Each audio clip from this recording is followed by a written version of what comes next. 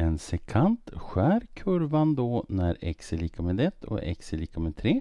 Bestäm sekantens lutning. Så det första jag måste göra är att ta reda på y-värdena för respektive skärning. Så när x är lika med 1 så får jag y är lika med 5 minus 1 i kvadrat som är 1.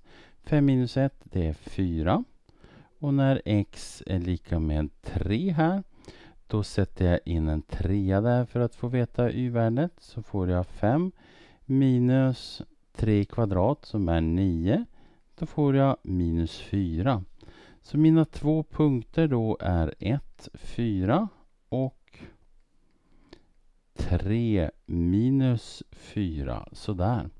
Så det jag gör sen då det är att jag tar och tittar på lutningen.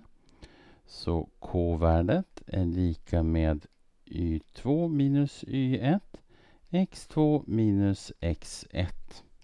Så sekantens slutning k är då detsamma som, då väljer jag det här som punkten 2, det där som punkten 1. Så då får jag y-värdet här 4 minus det andra y-värdet minus 4, sådär. Och så har jag dx-värdet 1 minus dx-värdet som är 3. Minus minus är plus. 4 plus 4 det är 8. 1 minus 3 det är minus 2. 8 delat med minus 2 minus 4. Så svar. Sekantens